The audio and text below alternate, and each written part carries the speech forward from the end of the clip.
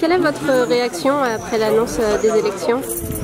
Évidemment la, déception, euh, quand on perd on est toujours déçu, mais euh, je constate que, le résultat me permet de, remonter par rapport au, premier tour et donc voilà, je crois une déception évidente, mais aussi le sentiment du devoir accompli. Qu'est-ce qui vous a manqué selon vous pour cette élection? C'est ce qu'il a manqué à beaucoup de candidats socialistes au niveau national. Je crois que ce résultat est lié au rejet massif du, Parti socialiste et de son étiquette et que à partir de là, plus rien ne comptait, euh, ni le travail euh, accompli et qui a été réel, ni la proximité, ce lien qu'on a réussi à créer avec nos concitoyens.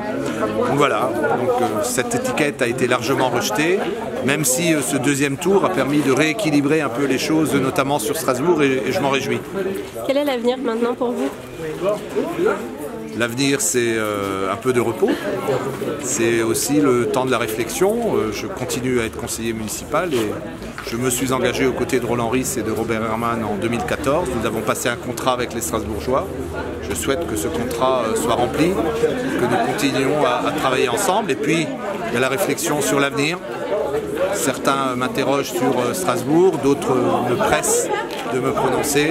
Là encore, le temps de la réflexion, mais aussi pas une réflexion euh, sur l'avenir personnel, sur euh, ce que je constate euh, ici ou là, le bal des égaux, mais une réflexion sur quelle ville nous voulons pour l'avenir, celle que nous sommes en train de construire, mais aussi celle que nous voulons après 2020 pour la succession de, Roland Ris. Est-ce que vous avez un message à faire passer aux abstentionnistes? Écoutez, non est un, droit, ce n'est pas une obligation. Je constate euh, que l'abstention est très forte au niveau national, mais aussi euh, et encore davantage à Strasbourg. Voilà, 40% de, votants, c'est euh, vraiment je ne crois pas qu'on ait connu euh, une participation euh, si faible.